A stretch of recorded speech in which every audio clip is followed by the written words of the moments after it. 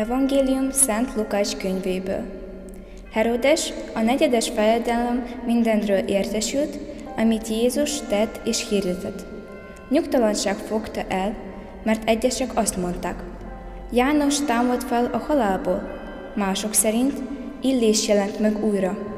Voltak, akik azt állították, a régi profitek közül kelt életre valamelyik. Herodes így töprengett. János lefejeztettem, ki lehet hát az, akiről ilyennek hallok? És kereste az alkalmat, hogy személyesen láthassa Jézust.